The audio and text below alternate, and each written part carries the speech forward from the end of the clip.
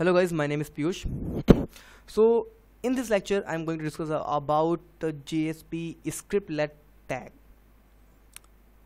or you can say the scripting element okay so JSP scriptlet is a part of a scripting element okay ये एक scripting element का part है so in JSP Java code can be written inside the JSP page using the scriptlet tag let's see what are the scripting element list suppose that uh, you are working in JSP page and you want to write a logic uh, and you want to execute the logic. So you what what what kind of tags you can use it okay use in the JSP page okay?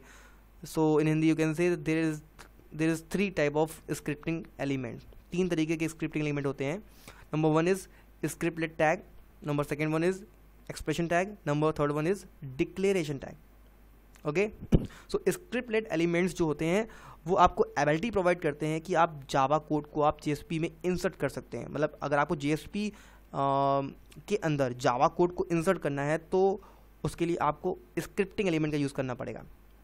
So so, तीन तरीके के आपको scripting element बताया मैंने। Number one is word number one और wait minute J S P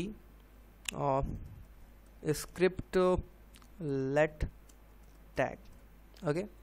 And inside there is a three element element about what element element right? And the in uh, the elements uh, the three type of element one is what? Script let okay? Tag wait a moment tag sorry. Second one is expression tag. Expression tag. The third one is what declaration tag. Right? So three tags are there. One is scriptlet tag second one is expression tag number third one is declaration tag. So what about the uh, scriptlet tag? Uh, so we will discuss in the next lecture. But before uh, going in the next lecture i'm repeating again what what we are discuss what we discussed.